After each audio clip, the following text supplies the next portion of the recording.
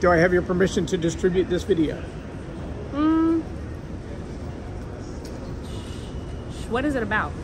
I'm going to ask you two other questions. Who is Jesus to you and why should I care? Those are the only two other ones? Well, besides your name. Is the purpose to reach people with the gospel of Jesus Christ. That's it. That's all we're trying to do. That's it. So my words ain't gonna get chopped up like weirdly. Okay. Nope. Yes. That's why I ask, can I distribute first, then your name, and then I ask the two questions. So all I have to do is cut the two ends off, and your name and your answers I'm are right to together. complicate it for No, you. not a problem. So do I have your permission to distribute this video? Yes. And what is your first and last name? Nina Hampton. Who is Jesus to you? He is Savior of the world.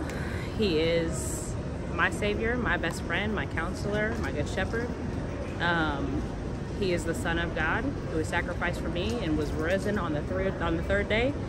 And by accepting Him, you can have eternal to life and relationship with Him. It starts right now Very good. And why should I care? because you can have that too.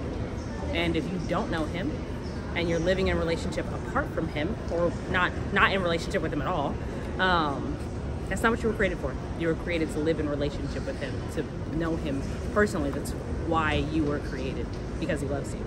And so you have access to that. You don't have to live life alone by yourself, distant from Him, whatever that means. So Very good.